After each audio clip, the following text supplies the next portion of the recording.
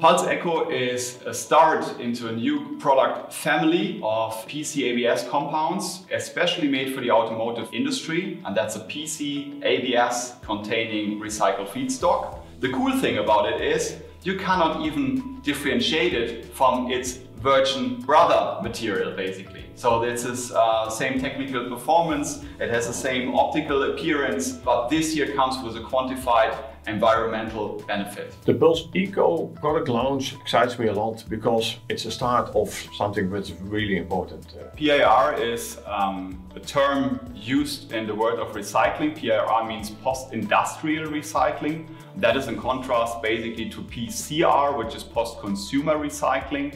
Um, PIR means um, the plastic itself has already passed a kind of a production stage, but for all the production processes, you always have remains of plastic. And these kind of remains is exactly the one we're using here to make our eco product. Plastics are seen negatively. We shouldn't use plastics, a world without plastics. Well, in my view, plastic is actually part of the solution.